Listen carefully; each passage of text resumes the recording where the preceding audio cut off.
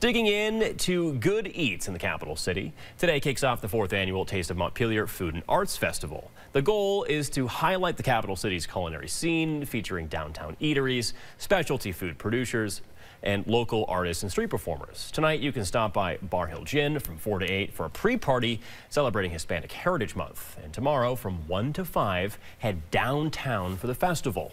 You can stop by your favorite food spot, grab a meal, and meet with others at the community dining table on State Street. Sounds like a lot of fun.